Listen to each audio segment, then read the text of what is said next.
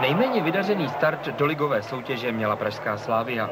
Pohubené vítězství doma nad Trnavou vedla sice už v osmé minutě v Dunajské středě 1-0, ale za 20 minut bylo všechno obráceně. Po mohutném náporu domácích otočili Radváni, Šimon a Jančula skóre a sešívaní nevěděli, čí jsou.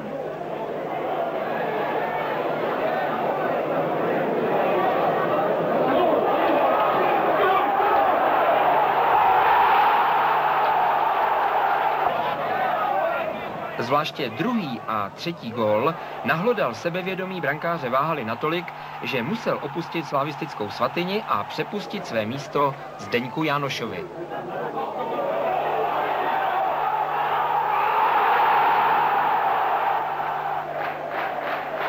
Ani tomu však štěstí příliš nepřálo.